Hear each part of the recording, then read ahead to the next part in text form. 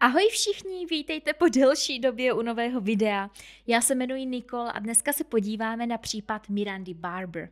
Ještě předtím, než začnu, nezapomeňte prosím na odběr mého kanálu a na jeho členství, kdy můžete mít buď to přístup ke speciálním emotikonám, nebo v té vyšší třídě dokonce můj odběr na Instagramu a poděkování ve videu. Jinak nezapomeňte taky na můj druhý kanál na slovíčko z Nikol, já vám to nalinkuju tady někde, tady to někde bude.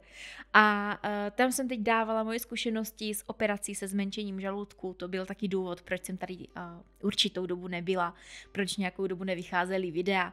Teď už jsem každopádně doma, jsem v pohodě a myslím si, že můžeme zase najet na dvě videa týdně. Tak jo, já si myslím, že teď už ale po tady tom obkecávání můžeme jít na to a pustíme se do toho. Miranda se narodila 14. prosince roku 1994 na Aljašce své mamince Elizabeth a otci Sonimu Barbrovi na severním pólu na Aljašce. Měla ještě starší sestru Ashley. Když byla Miranda ještě malá, tak se zjistilo, že trpí vývojovou dysplazí, což je laicky řečeno porucha vývoje nebo růstu a primárně je to spojené s kyčelními klouby. Takže na základě toho musela Miranda jako malé dítě nosit několik let ortézy, aby v dospělosti co nejméně pocitovala dopad dysplazie. Když bylo Mirandě kolem čtyř let, tak se do stejného města, kde bydlela, přestěhoval její strýc, tedy manžel maminčiné sestry, Richard Fernandez. Richard s Elizabetinou sestrou měli taky dceru ve věku Mirandy. Takže Miranda k ním spolu s ještě se svou sestrou Ashley chodili docela často, trávili u nich čas a všechno to vypadalo prostě v pohodě. No a bohužel teda často Richard určitým časem začal dívky využívat.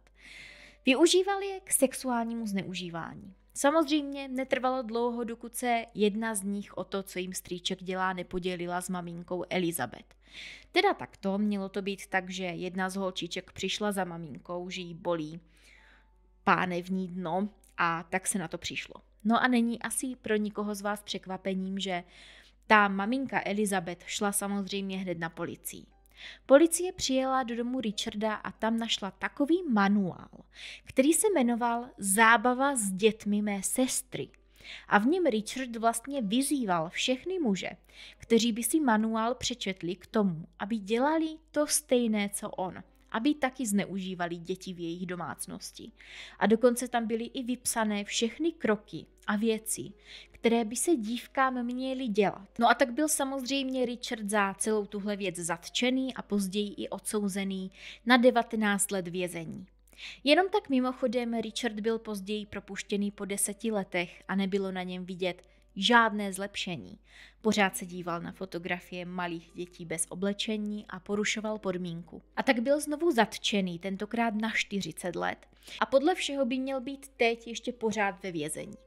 Je vám ale asi jasné, že Richardovo chování mělo na Mirandu a na její sestru dopad a toho si byla Elizabeth moc dobře vědomá.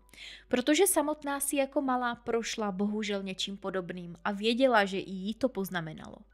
Každopádně po tomhle všem chtěla Elizabeth se svými dcerami začít kompletně od začátku. A tak se s nimi přestěhovala ještě pořád v rámci Aljašky, ale jenom do jiného města jménem Metanuska Susitna. Obě dívky začaly chodit na novou školu a všechno to ze začátku vypadalo růžově. Ale jak už jsem tady zmínila, tak na Mirandě se prostě Richard podepsal. A tak si to sebou chuděra táhla i do nového města a často se svěřovala ve svých deníčcích, že se cítila bezcená a prostě tak nějak špinavá. Taky jí trápilo, že to monstrum, které jí zničilo dětství, bude jednoho dne propuštěno a bude si žít normální život. Prostě jako by se nic nestalo. Takhle to šlo nějakou dobu a teď se dostáváme do chvíle, kdy bylo Mirandě 12 let. V té době totiž potkala 25-letého muže jménem Forest a za ním utekla z domu. Forest ale nebyl jenom tak obyčejný chlap, ale podle všeho měl vést nějaký kult, který vyzýval přímo satana. U Foresta jehož fotku jsem teda popravdě nenašla. Měla prý Miranda nějakou dobu zůstat a zůstala tam tak dlouho, dokud se jednoho dne sama od sebe nevrátila domů. Už v tu dobu ale říkala své mamince, že jí prostě a jednoduše teď Forest vlastní. V tuhle dobu mělo dojít k první potyčce, kdy Miranda někomu vzala život. V té době jí bylo pouhých 13 let a tak vylákala ven muže, který dlužil Forestovi peníze. Když se ale mělo schylovat k nějakému styku, tak rychle z temné uličky vyskočil Forest a muže střelil. Potom zbraň podal Mirandě do ruky, chytl její ruku tou svou a vystřelil ještě jednou, čímž měl celou věc dokončit. Od té doby, i když se vrátila Miranda domů, stále utíkala vždycky na několik dní v kuse pryč a vlastně nikdo nevěděl, kde je, s kým je a co dělá. Jediné, co o ní maminka věděla, byl fakt, že to s Mirandou šlo z kopce, protože přičichla k alkoholu a návykovým látkám. A dokonce byla čím dál tím víc agresivní. A těžko říct, jestli to byl dopad právě nějakých látek a třeba abstinenčních příznaků, nebo jestli zatím stálo i něco jiného, ale několikrát se třeba stalo to, že byla Miranda vyloučena ze školy, protože porušovala pravidla. A prostě pořád s ní byly nějaké problémy, které škola odmítla akceptovat. Aby toho ale nebylo málo, Miranda měla taky spoustu psychických problémů. A nebyl to jen jeden případ, kdy si třeba zkusila sáhnout na život. Bylo tam dokonce i víc pokusů. A tak to, že si s ní maminka nevěděla rady, jí dohnalo k tomu, že Mirandu poslala na psychiatrii. A tak ta kromě toho všeho začala brát ještě různá antidepresiva a další prášky. Na Elizabeth už toho taky bylo dost, protože kromě Mirandy se v tu dobu ještě rozváděla. A tak bych řekla, že nad svou dcerou vlastně v průběhu tady těch všech věcí, které na ní dopadaly, tak trošku zlomila hůl a začala jí a její chování prostě ignorovat. Dokonce si často raději našla nějakého muže na jednu noc nebo třeba přítele a raději trávila čas s nimi než se svými dcerami. Netrvalo dlouho a i Elizabeth spadla do závislosti na alkoholu a návykových látkách. A tak jak do té doby byla Miranda alespoň trošku něčím držená, tak teď na všechno vlastně zůstala sama a nikdo ji nekontroloval. A tak se třeba začala přiklánět k tomu, že pro peníze začala spát s různými muži a tohle dělala tak dlouho, dokud neotěhotněla. Tenkrát jí ale Forest přikázal, aby šla na přerušení a ona tak udělala. Nemělo jít ale jenom o jaké přerušení. Podle Mirandiných slov kult donutil k ukončení tak, že ji svázali na posteli a podali jí tolik návykových látek, že to prostě potrat spustilo samo. V kultu to ale nechodilo jenom tak, protože eh, když jednoho dne chtěla Miranda tady tu skupinu opustit, tak zjistila, že to prostě nejde, že existovaly jenom dvě cesty ven. Buď to dlouhodobé sexuální obtěžování, nebo to, že jí prostě někdo vezme život a ona se tak z kultu vlastně nikdy nedostane. No a tak o pár let později, když bylo Mirandě jenom 17, otěhotnila znovu a tenkrát se rozhodla, že si tohle dítě už prostě nechá. Podle mě ale nikdo do téhle chvíle neví, kdo je biologickým otcem dítěte. Každopádně tím, že se o Mirandu v té době už nestarali ani její rodiče, si nejspíš nevěděla rady, nevěděla, jak se postará o svoje dítě, když kolem sebe nemá žádnou podporu. A tak se rozhodla kontaktovat doktora Fila. Jestli to neznáte, doktor Phil byl muž, který měl v americké televizi svoji vlastní show, kam mu chodili lidé s různými problémy, životními strastmi a on se je snažil nějakým způsobem řešit. Bylo to ale celé takové jako divné, protože jsem se dočetla, že snad doktor Phil měl sice diplom z klinické psychologie, ale od roku 2006 už si jakoby oficiálně nenechal prodloužit licenci, takže to bylo vlastně normální člověk bez nějakého dokladu, který by ho vlastně opravňoval k tomu, aby pomáhal lidem a řešil jejich problémy. Doktor Phil tenkrát na tenhle dopis neodpověděl, ale i tak přišly úřady na to, že se Elizabeth o svoje děti nestará a Miranda byla poslaná do pěstounské péče v severní Karolíně. V té době už v ní prý měla bujet nenávist vůči všem lidem, primárně ale vůči mužům. A tak její řádění a odebírání života ostatním lidem mělo pokračovat po Kalifornii, Texasu a Severní Karolíně. S tím, že většina jejich obětí měly být právě mužského pohlaví, s výjimkou jedné ženy na Aljašce, která prodávala svoje děti. A to Mirandu prostě tak strašně naštvalo, že se jí chtěla pomstit. Mezi Mirandiny obětí měl patřit například muž, který si myslel, že má Miranda pouhých 11 let. No a to Miranda právě brala za důvod na tohoto muže zaútočit svým nožem. Další z obětí měl být jeden muž, který na ní zaútočil ve chvíli, kdy pracovala jako gogo tanečnice ve floridském klubu. Všechno tohle Miranda dělala jenom proto, že měla podle svých slov pocit, že zbavuje život zlých lidí a uchraňuje tak dívky před osudem, jaký tenkrát čekali. Možná byste si řekli, že když se Miranda dostane od své rodiny a od Foresta, že se to všechno zlepší, ale tomu tak vlastně vůbec nebylo. V severní Karolíně totiž Miranda potkala dalšího muže, Elita Barbara, který byl o tři roky starší než ona. Já moc nechápu, jaký vztah mezi tady těma dvěma v té době byl, protože Elit měl v té době uh, těhotnou přítelkyní Amy. No a do toho samozřejmě ještě poznal těhotnou Mirandu. No a tak nějak prostě vztah mezi tady těmi třemi jako udržovali. Nakonec Amy s Mirandou obě porodili holčičky a tak se všichni tři často scházeli a prostě si tak nějak jako vypomáhali. Zanedlouho po narození jeho dcery se ale Elit předávkoval nějakými návykovými látkami, tenkrát tedy přežil, ale prý po téhle zkušenosti z něho byl úplně jiný člověk než předtím pil a používal dál návykové látky, dokonce o hodně víc než předtím. No a stejně jako Miranda byl násilnický a tak netrvalo dlouho, dokud se vztah mezi ním a Amy nerozpadl. Tenkrát to ale Elita asi moc nevzalo, protože hned z tady toho starého vztahu skočil do nového. A s kým jiným než s Mirandou. Já si myslím, že nepřeháním, když řeknu, že se tihle dva prostě hledali tak dlouho, dokud se nenašli, protože i elita zajímaly různé kulty. Podle všeho se tihle dva navzájem často řezali.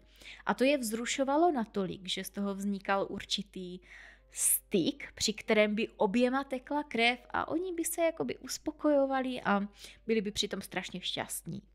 No, utekl ani ne rok, Mirandě tenkrát bylo 18, když se jednoho dne s elitem zbalili, utekli z domu a bez vědomí všech se někde o samotě vzali. Když se potom vrátili, jenom si vzali Mirandinu dceru Áriu a odstěhovali se spolu do Pensylvánie. Je listopad roku 2013, když se Miranda s Elitem dostali do Pensylvánie, ubytovali se u kamarádů v domě, ale v té době si uvědomili, že vlastně nemají žádné peníze.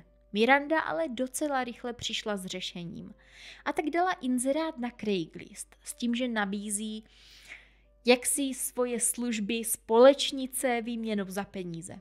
Prý podle Elita ale nemělo jít o žádné sexuální služby jenom o služby společnice a kamarádky. Miranda nemusela čekat dlouho, dokud se jí na inzerát neozval první muž, 42-letý Troila Ferreira, který se s Mirandou domluvil, že jí dá 100 dolarů za to, že s ním Miranda stráví nějaký čas. I když, pojďme si to říct na rovinu, Troj z největší pravděpodobností prostě očekával spíš sexuální služby, než to, že třeba Mirandu vezme na nějakou večeří nebo do společnosti, nebo že si prostě popovídají. Co ale Troj nevěděl, byl fakt, že Miranda s Elitem měli už vymyšlený plán, který zahrnoval právě ho. Nešlo jim totiž jenom o těch 100 dolarů. Oni se rozhodli, že toho, s kým se Miranda setká, zbaví života.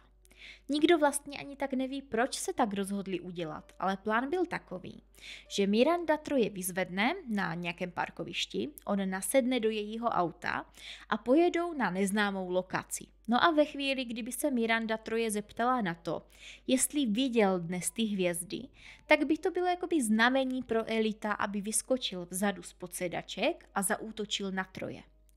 11. listopadu roku 2013 tedy Troj doopravdy potkal na parkovišti Mirandu, nasedl k ní do auta a dal jí adresu do jeho druhého domu, kde se tedy měli setkávat a družit. Po cestě Miranda s Trojem jsem tam prohodili pár slov a v jednu chvíli se Miranda z nějakého důvodu rozhodla Trojovi říct, že celou dobu lhala o tom, že je jí 18 let, že je jí ve skutečnosti 16 což víme, že nebyla pravda, protože Mirandě bylo doopravdy 18.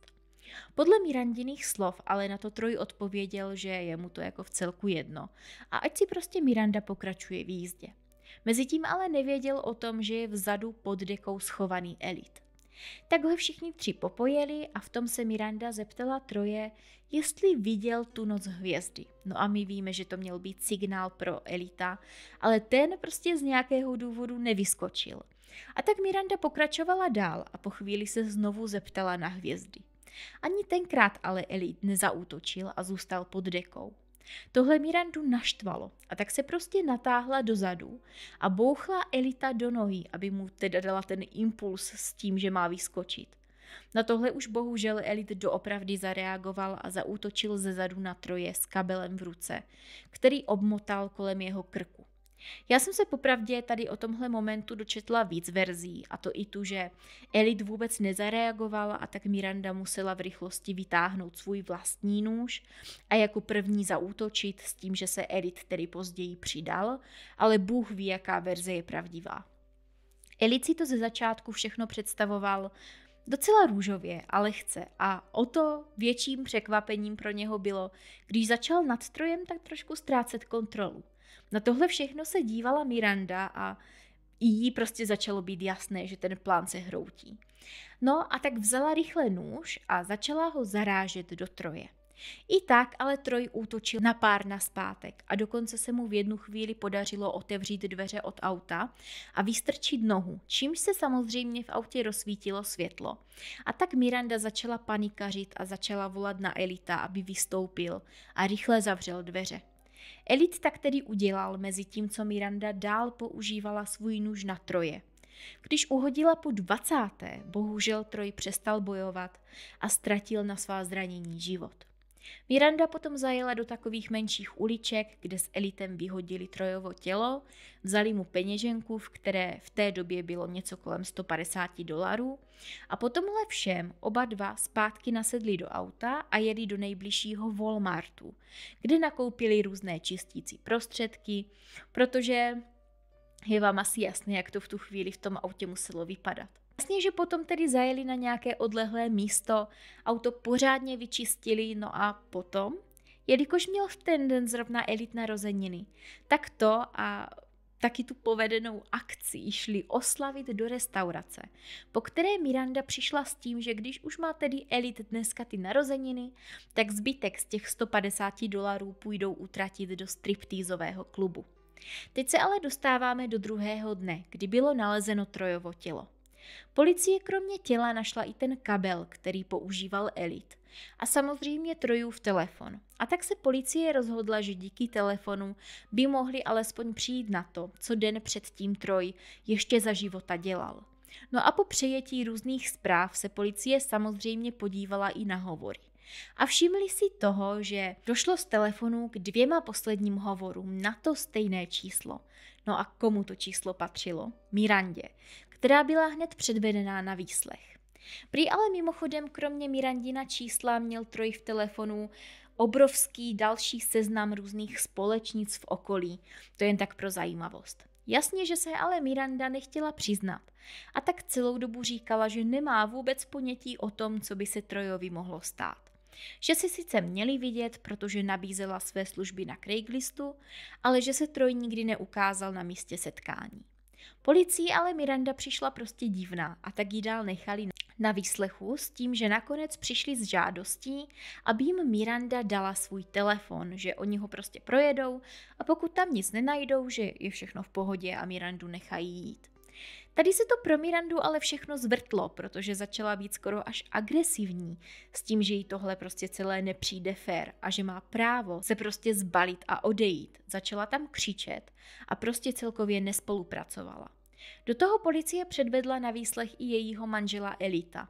A on samozřejmě taky všechno popřel a stál si za tím, že jeho manželka sice nabízela společnost, ale že v určitě za žádných okolností nebylo žádné spojení se sexuálními službami.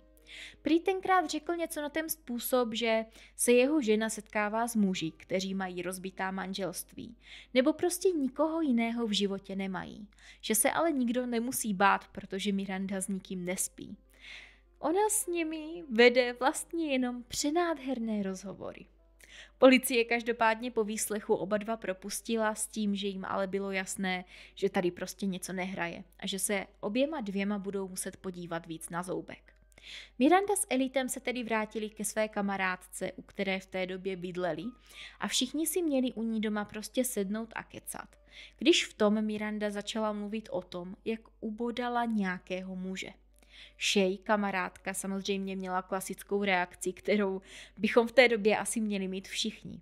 Začala Mirandě říkat, jak tohle určitě není v pořádku a že musí jít na policii. No a k překvapení všech, Miranda tenkrát souhlasila, takže se jako první se všemi rozloučila, dokonce i se svou dcerou a vážně odešla na policii. Je vám asi jasné, že to musí být nějaké ale a to tu bylo. Miranda se totiž z nějakého důvodu rozhodla říct úplně jiný příběh než ten, který se stal.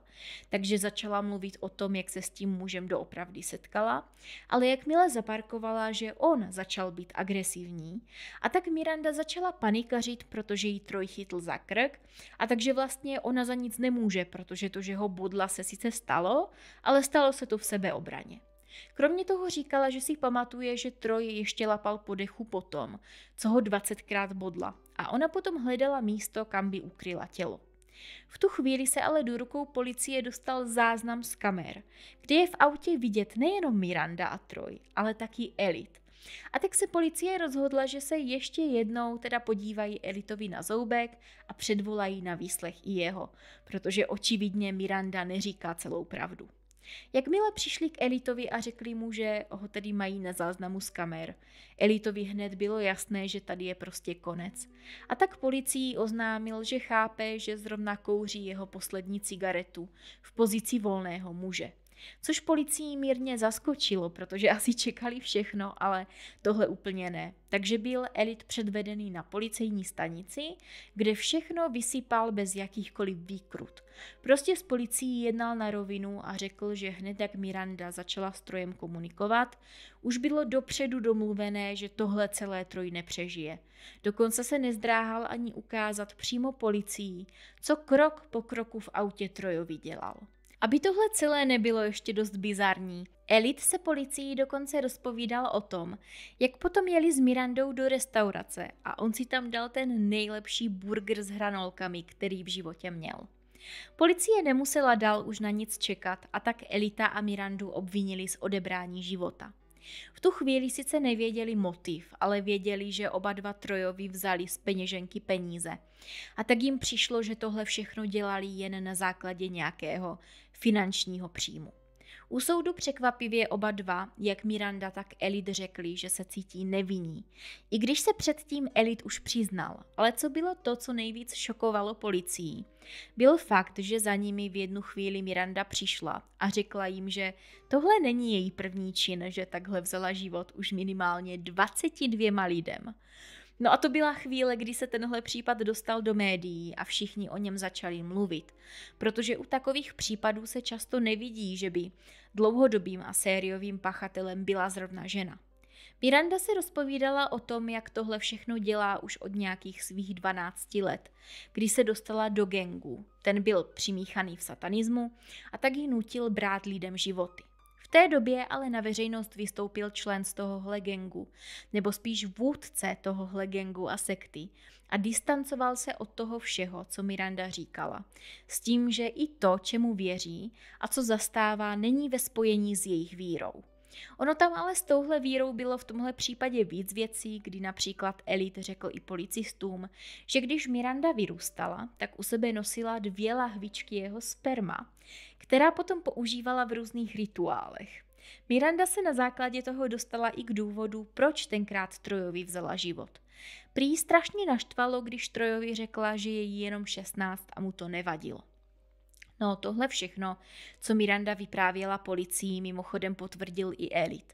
Tedy to, že má na rukou krev tolika lidí a dokonce řekl policii, že si myslí, že je Miranda posedlá démonem, vždycky ve chvílích, když by tyhle činy páchala. Prý se z ní stávala super Miranda a vždy se z ní stal kompletně jiný člověk. Tahle super Miranda měla u sebe vždycky speciální nůž, který měl na sobě hned několik zářezů každý za každou oběť. Ještě tu doplním informaci o tom, že se Miranda nechala slyšet, že její oběti ale vždycky byli špatní lidi. Že buď to obtěžovali děti, nebo alespoň někomu dlužili peníze, ale že nikdy nesáhla na život nikomu, kdo by byl jakoby dobrý. I když bylo všem jasné, že tohle je víceméně vaření z vody, pořád se k případu přidala i FBI. Protože pokud by byla pravda vše, co Miranda říkala, řadila by se mezi jedny z nejplodnějších sériových pachatelů ve Spojených státech. A tak jasně, že tohle prostě museli řešit. Miranda jako první řekla, že se nenajdou žádná celá těla, ale jenom jejich části. No ale to policii nesedělo, protože v tu dobu neměli žádné otevřené případy nevyřešených činů. I tak si ale Miranda stála za tím, že nějaké části těl budou v Big Lake jezeru na Aljašce a taky v Mexico Beach na Floridě. Elit k tomu všemu dodal, že vždycky bylo snem páru, aby mohli brát životy společně. Teď ale zpátky k vyšetřování. Na co ta FBI tenkrát přišla? Na to, že Miranda vlastně celou dobu lhala. Nebyly totiž žádné fyzické důkazy o tom, že by někdy vzala život někomu jinému než Trojovi. K tomu se přidal i Mirandin tatínek s tím, že jí policie nemá věřit ani nos mezi očima, protože byla ulhaná celý svůj život a je mu stoprocentně jasné, že si tohle všechno vymýšlí. Však pojďme si to říct na rovinu. Vzala život Trojovi a hned pár dní na to byla chycená, tak je divné, že by se jí předtím podařilo vzít tolik životů a policie by jí nikdy nebyla ani na stopě. K tomu se tenkrát vyjádřil i odborný analytik sériových pachatelů Bill James, který řekl, že si nemyslí, že by byl ve státech někdo ve věku 19 let, který by zvládl mít na krku přes 22 obětí. Jakmile byla tedy tahle věc uzavřená, tak se konečně mohlo přejít k soudu. Jak do té chvíle oba dva, tedy Miranda i Elit, tvrdili, že jsou nevinní, tak své tvrzení změnili na vinní. A to nejspíš jenom proto, že kdyby o sobě tvrdili dál, že jsou nevinní a byli by třeba usvědčení, tak by mohli dostat až trest smrti. Ale jakmile by se přiznali a řekli by, že jsou vinní, tak už by tenhle trest dostat oficiálně nemohli. Na základě toho tedy nebyl spuštěn žádný soudní proces a prostě jim jenom bylo sděleno, že oba dva dostávají trest odnětí svobody na doživotí. Trvalo to do roku 2016, dokud Miranda nepožádal rozvod s elitem a zároveň promluvila i do médií a řekla jim pravý důvod a její motiv k tomu činu, který udělala. Prý chtěla být zatčená, aby její dcera tak byla odebraná, předaná do pěstounské péče a měla tak možnost žít lepší život, než jaký by žila s Mirandou a Elitem. Tím vlastně odůvodnila i to, že se tenkrát na místě činu našlo tolik věcí a třeba i Trojův telefon, který policii přivedl přímo k Mirandě. Ten tam prý nechala schválně, protože doufala, že záznamy hovorů policie využije. O další dva roky později dokonce Miranda přiznala, že doopravdy všechno o těch 20 lidech, kteří měli předcházet troje, byla lež. A spolu s tím zažádala o snížení trestu, protože měla těžké dětství a podle sebe by si to za to všechno prostě zasloužila. Její žádost byla ale tenkrát naštěstí odmítnuta a tak doteď sedí jak Miranda, tak i její ex-elit za mřížemi a odpikávají si svůj doživotní trest. Tak jo, to bude každopádně za mě pro dnešek všechno. Já si moc ráda vyslechnu, co si o tady tomhle případu myslíte. Jasně, že Miranda neměla nejhezčí dětství, to vidíme často u takových lidí, kteří se jdou z cesty. A já možná teď řeknu něco, za co mě odsoudíte, ale i když podle mě máte nějaké špatné pozadí, špatné dětství, rodiče, pořád si sám zodpovídáte za to, co v životě uděláte. Jestli si jdete z cesty, nebo jestli budete normálním a třeba i prospěšným člověkem pro svět. Co si o tom myslíte? Mohla si za to, co udělala Miranda sama, nebo byste jí třeba taky snížili trest kvůli tomu, v jakých podmínkách vyrůstala? Já se každopádně budu těšit u dalšího videa. Mějte se krásně a ahoj!